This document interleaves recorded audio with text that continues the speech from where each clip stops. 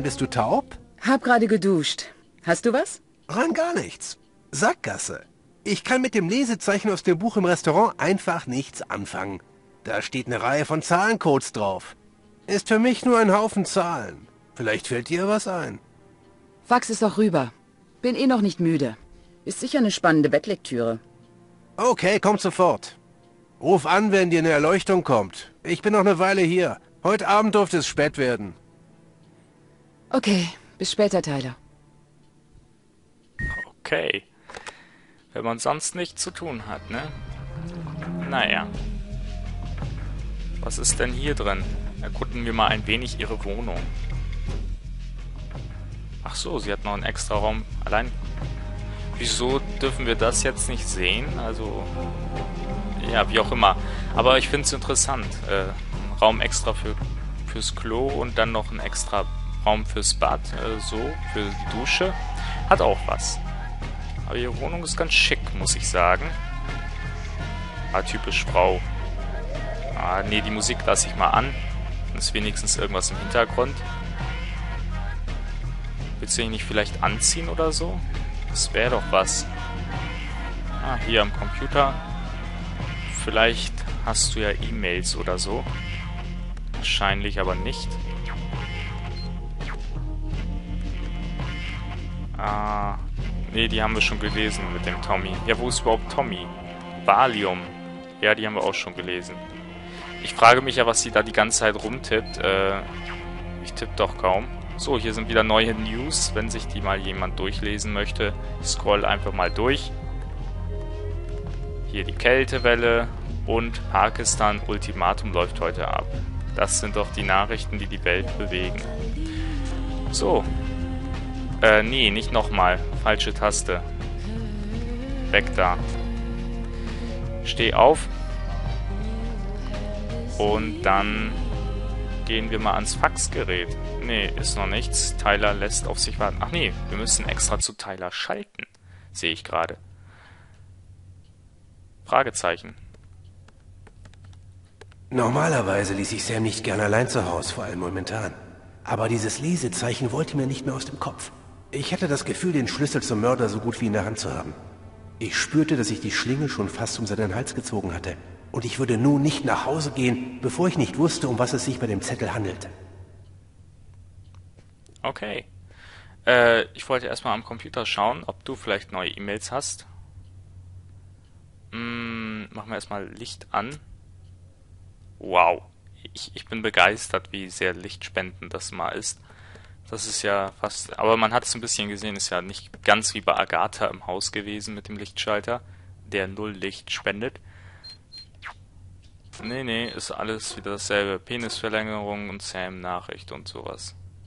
So, ja, Licht kann man dann auch ausmachen, wenn es nichts äh, bringt.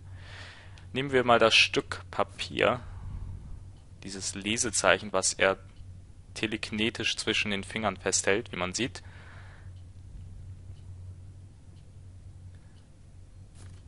Ja, wolltest du das jetzt nicht faxen, Tyler? Hm, muss ich wahrscheinlich für aufstehen und dann nehmen. Was ist eigentlich mit deiner Psyche? Nee, ist super. Ach stimmt ja, du hast ja plus 50 bekommen, obwohl du schon voll warst oder so. So, gehen wir mal zum Faxgerät, das steht ja hier. Und rein damit. Ist das jetzt fertig? Achso, okay. Ja, dann, äh... Ach ja, der Teiler brauchen wir später nochmal. Dann schalten wir jetzt rüber. Nee, müssen wir erst hinlegen. Und nachdem wir es hingelegt haben, können wir zu Carla wieder schalten. So, das ist doch schön. Dann gucken wir uns das jetzt mal an. Das Lesezeichen aus dem Buch. Buchstaben und Zahlen. Was kann das sein? Warum steht da jetzt eigentlich noch so viel Text? Egal. Hat Tyler natürlich irgendwie geschrieben, irgendwann, ich weiß nicht wann, aber er hat es definitiv geschrieben. Carla ist ja auch fast fit. Oh, genau zwei Gläser. Ja, bloß nicht übertreiben. Bestimmt was mit diesem Tommy zu tun. Ah, meine Güte. Willst du hier nicht Pizza essen oder so?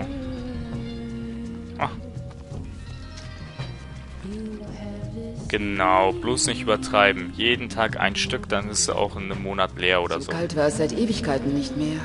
Ich hasse den Winter. Alles ist leise und bewegungslos, als wäre alles tot. Hoffentlich dauert er nicht lang.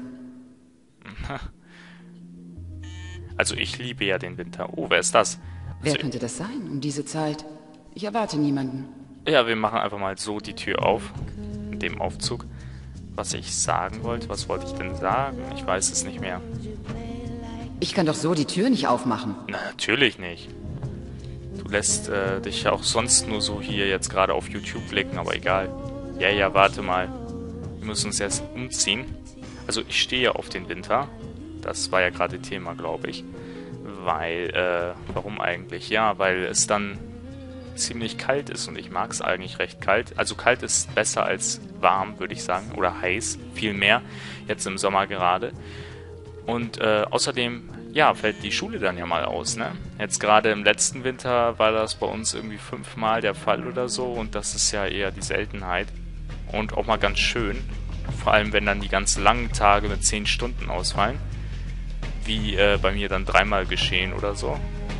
Ja, jetzt können wir aber die Tür aufmachen. Und wer ist das? Ich hatte Langeweile und dachte, du als offizielle, nette Nachbarin würdest sie mit mir teilen. Wie auch diesen exzellenten Chablis.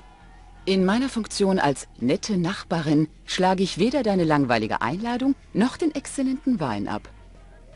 Ich nehme an, selbst eine eingefleischte Junggesellin wie du hat irgendwo ein paar Weingläser zur Hand. Müsste ich wohl haben. Nur wo? Setz dich, Tommy. Ich such sie. Ah, das ist also Tommy. Unser Nachbar. Naja, mal schauen. Hier waren die doch irgendwo, oder? Genau zwei Gläser. Ja, da hat die Carla schon vorgesorgt, denke ich. Für den Fall, dass mal jemand vorbeikommt. So eine Art Freund oder so. Okay, stellen wir sie hin und setzen uns dann mal. Jetzt wird's gleich spannend. Naja, spannend. Ja, es wird. Ja, keine Ahnung. Kann man so oder so sehen. Einen Toast? Okay, auf was? Die Liebe, was sonst? Auf die Liebe. Okay, nehmen wir unser Glas in die Hand und runter damit. Nochmal plus 5. Äh, Tommy. Hast du einen Lover?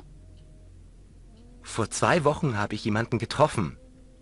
Er ist ein total netter Kerl. Arbeitet auch in einer Bank. Ich glaube, diesmal könnte es was Ernstes sein. Ui, er scheint also schwul zu sein. Ist also nicht Carlas Freund. Verändert. Freut mich, dass du wieder besser drauf bist. Wir haben alle unsere Höhen und Tiefen, oder? Ich dachte immer, in New York schere sich niemand drum, ob jemand schwul ist. Die tun so aufgeklärt. Aber von wegen... Für die sind wir alles, nur nicht normale Leute. Naja, wer will schon normal sein, würde ich da meinen. Carla. Noch immer allein? Worauf wartet ein so hübsches Mädchen wie du? Such dir einen netten Freund. Eins ist in New York bestimmt nicht Mangelware. Attraktive Männer. Ich weiß nicht. Danach ist mir zurzeit irgendwie nicht. Meine letzten Romanzen waren stets ein Riesenreinfall. Ich habe momentan auf nichts und niemanden Lust. Genug geplaudert. Schau, was ich hab. Tarotkarten? Um deine Zukunft zu lesen. Willst du damit sagen, du kennst dich damit aus? Meine Oma hatte es im Blut. Sie lehrte mich das Kartenlesen, als ich noch klein war. Sie übertrug ihre Wahrsagefähigkeit auf mich. Es funktioniert. Was die Karten sagen, tritt immer ein. Mal sehen, ob du deine wahre Liebe triffst oder ob du als verschrumpelte alte Jungfrau endest. Okay, alter Zigeuner. Und was muss ich nun tun? Also, nimm die Karten und misch sie gut. Naja, äh, ich finde es ja witzig, dass in den Untertiteln Wahrsagerfähigkeiten Anführungszeichen stand, so quasi, so, wer glaubt denn schon den Scheiß? Äh, ja, Astro TV macht ja Geld damit. Naja, mal schauen, was die Karten so sagen, würde ich sagen. Wow, Wortspiel. So, jetzt müssen wir gleich Karten aufdecken. Und es ist egal, welche Karten wir aufdecken, es kommt immer auf selbe Ergebnis hier heraus. Weil äh, das vom Spiel so gewollt Nimm ist. zwei Karten. Okay, machen wir das. Hm. Bewegen mit linkem Analogstick. Tarotkarte mit 1 wählen. 1 ist meine 1-Taste. Ja, doof. Äh, 4. Und äh, 5, 6, 7, 8. Dich erwartet eine dunkle Zeit, eine Flucht und große Gefahr. Leg zwei da dazu. Genau, leg zwei dazu.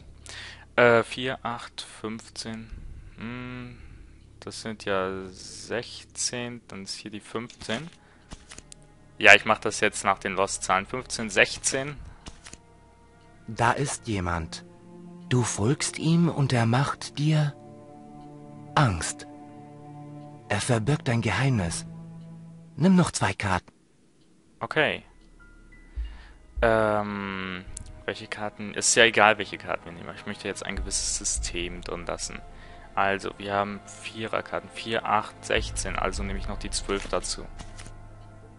Und ähm, die 7 als Glückszahl. Und Von ein wegen. Fluch. Großes Leid und Angst. Ich sehe dunklen Tod und Schmerz. Komm ruhig rüber, wenn du Unterhaltung brauchst. Tut mir ehrlich leid, Carla. Das ist keineswegs so lustig geworden, wie ich dachte. Ist schon in Ordnung. Mal sehen, was ich noch an Schrecklichem erwarten darf. Hier noch zwei Karten. Na, da sieht man mal die Kraft der Karten. Sie sagt uns was über unsere Zukunft aus und es scheint ja alles möglich zu sein, ne? Nehmen wir mal noch die, die, äh, zwei. Und, äh, oh, die sieht ja positiv aus eigentlich. 2, 4, 6, 8, ähm, die 10, weil erste zweistellige. Ein Kind. Zwei Schicksale. Ein Weg zum Leben, der andere zum Tod. Carla, lass uns aufhören. Tut mir leid, das wollte ich nicht. Sowas habe ich noch nie aus den Karten gelesen. Normalerweise enthalten sie was ganz anderes. Du brauchst dich nicht zu entschuldigen. Ist doch bloß ein Spiel. Ich glaube eh nicht an solchen Kram. Aber witzig. Tja, ich gehe dann wieder. Es ist spät. Seit wann interessierst du dich für Geld? Wieso fragst du das? Auf dem Fax da stehen Börsennotierungen. Börsennotierungen? Ganz sicher? Und ob, die erkenne ich im Schlaf. Daraus besteht doch mein Job. Ein Bankpapier. Lässt sich feststellen, von welcher Bank das kommt? Mit einem Fax nicht. Aber auf dem Originalpapier müsste ein Wasserzeichen drauf sein. Mit dem ID-Code der entsprechenden Bank. Du ahnst gar nicht, wie sehr du mir damit geholfen hast, Tommy. Schlaf gut. Gute Nacht, Carla.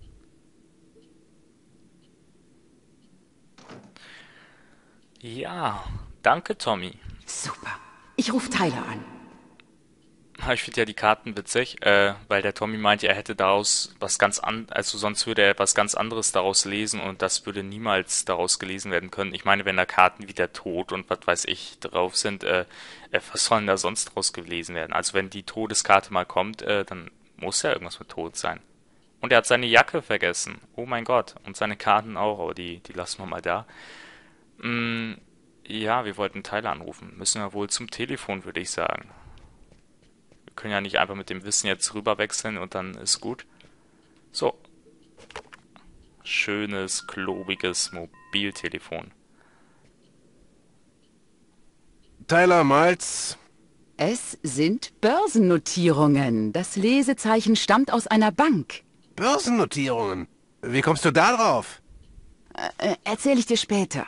Das Papier des Lesezeichens hat sicher ein Wasserzeichen mit dem ID-Code einer Bank. Schau mal nach. Ist auf dem Papier ein Wasserzeichen drauf? Ich guck nach und ruf dich zurück. Okidoki.